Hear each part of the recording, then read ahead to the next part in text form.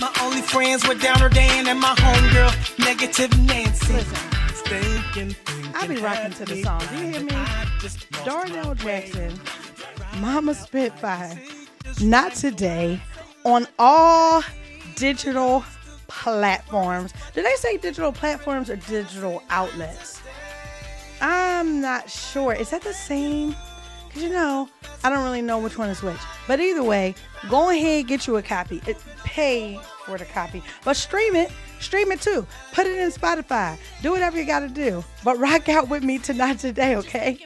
Welcome to day number 14 of the 30 day HIFIO Challenge. How I Faithed It Over, where we have learned that currency and language are two different things. True or true? Currency and language are two different things. So we learned what faith is and what faith is not. Faith is not currency. It is not heaven's currency. I don't I don't know who made it up. No shade to you if this is your thing.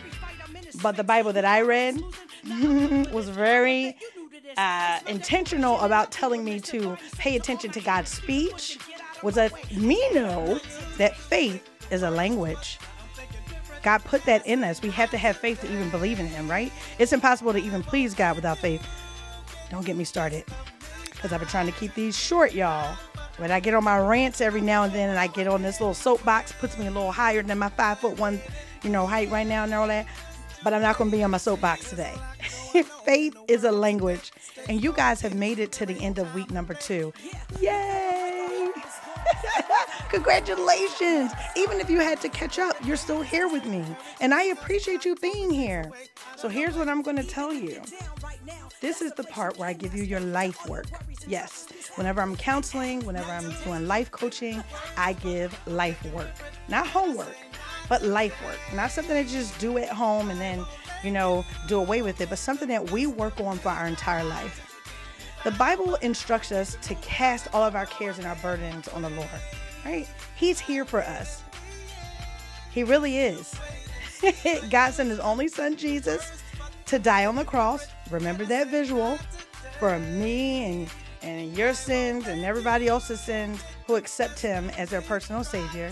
And he left the Holy Spirit as a comforter, someone who indwelled us to help us fulfill our purpose that we were created on earth to do. So if I have all of that, all of that power in front of me, behind me, on the side of me, around me, all, all of those things underneath of me, then I should be able to cast my cares on the biggest, baddest, and best God to ever do it. So I'm encouraging you guys that even if you may have lost your way, even if you you didn't pay attention to some of the, instructions and the directives that God is giving you in your life, it's not too late. You don't have to give up. You don't have to say, forget about that idea or forget about that vision or forget about that provision because I didn't have the resources. God put everything that you need for your purpose inside of you. It's in your hands. He did. That's why He created us, right? he created us to fulfill what it is we are supposed to be fulfilling. Like, so He had to have given us some tools. So you have all of the tools that you need. What I'm going to encourage you to do for your life work is to actually write down some areas in your life where you felt like maybe you missed the mark. Maybe you missed an instruction.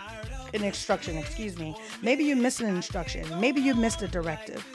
Write those things down and give it to God. Because in Philippians chapter 1, verse 6, it's clear where it says, And I am sure of this, that he who began a good work in you will bring it to completion at the day of Jesus Christ. That means that God is intentional about making sure that that good work that's inside of you will be fulfilled.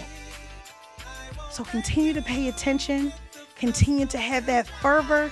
Keep on faith stalking with me. I will see you tomorrow for day number one of week number three. You guys have made me so happy. I love the comments, the inboxes, the text messages. So don't forget to like, follow, subscribe, share, do all of those things. Well, we're going to rock out on verse number two. Is that all right?